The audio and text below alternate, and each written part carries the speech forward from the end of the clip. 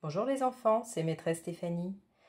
Aujourd'hui, je vais vous raconter l'histoire du castor de l'étang bleu par William T. George et Lindsay Barrett George.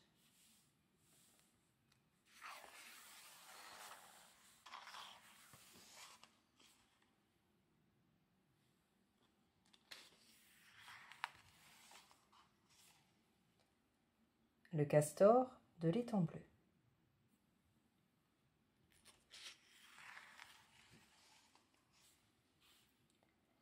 C'est le crépuscule à l'étang bleu. La plupart des animaux se sont installés pour dormir. Les oiseaux dans les arbres, les canards dans les hautes herbes et les tortues d'eau sur le fond de l'étang.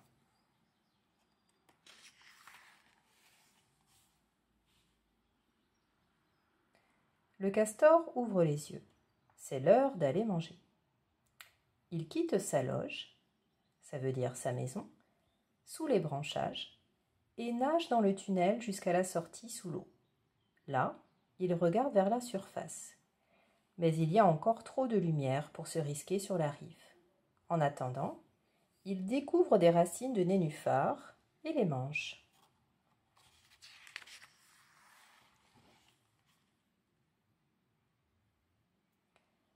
Le castor monte enfin à la surface, où il aperçoit la première étoile dans le ciel.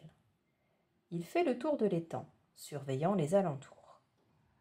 Alors qu'il s'approche du barrage sur le ruisseau, il sent la pression de l'eau sur ses moustaches et s'arrête de nager et entend le bruit de l'eau qui coule.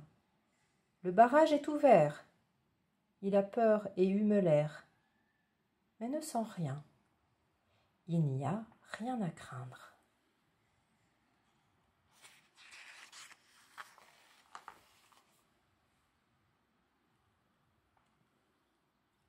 Le castor coupe quelques branches avec les dents.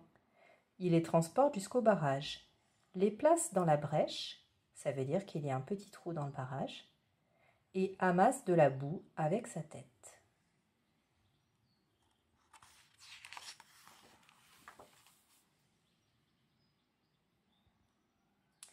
Le castor apporte de grandes pierres qu'il roule sur le tas de branches et de boue. La réparation du barrage dure presque toute la nuit.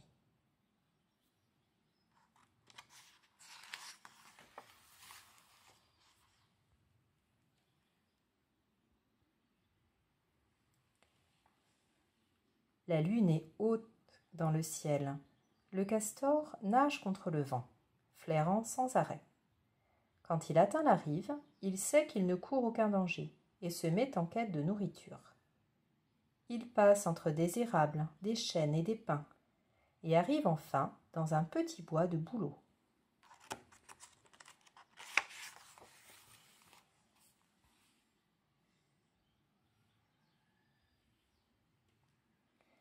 Il choisit un petit arbre qui tombera sans être retenu par les autres. Au fur et à mesure que le castor ronge le tronc, le bouleau s'incline sur le côté et tombe dans un craquement sec. Le castor mange un peu d'écorce et coupe quelques branches, qu'il rapportera jusqu'à sa loge. Un oiseau se met à chanter. Une légère brume recouvre la surface de l'étang. Le jour grandit. Le castor ne s'est pas aperçu que le vent a changé de direction.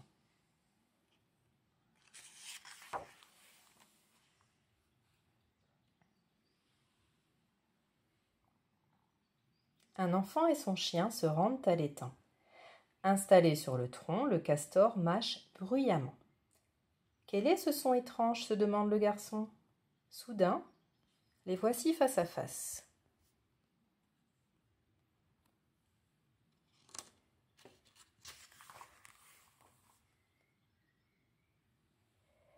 Tout d'abord, tous trois restent immobiles et se regardent. Le castor grince des dents. Soudain, le chien aboie et se rue vers lui. Le castor se précipite vers l'étang. Ouf Juste à temps. Il frappe l'eau de sa large queue et plonge pour se mettre à l'abri. Sur la rive, le chien aboie en direction de l'endroit où le castor a disparu.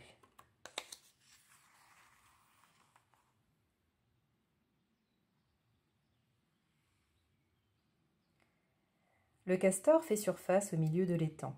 Il regarde en arrière et voit le chien et l'enfant qui l'observent depuis la rive. Il est sauf, c'est l'heure de rentrer.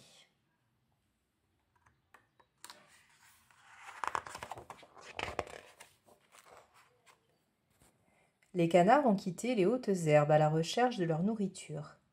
Les tortues se sont approchées de la rive et cherchent des insectes. Le castor, lui, tourne une dernière fois autour de sa loge, humant l'air, pour s'assurer que tout va bien.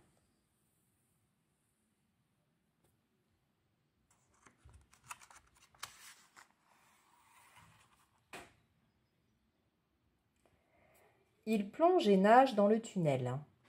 Arrivé dans sa loge, il commence par nettoyer sa fourrure.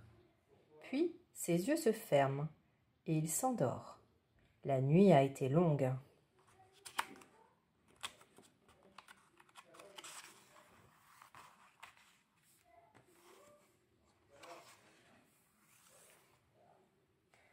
Voilà, c'est tout pour aujourd'hui les enfants. J'espère que cette histoire vous a plu.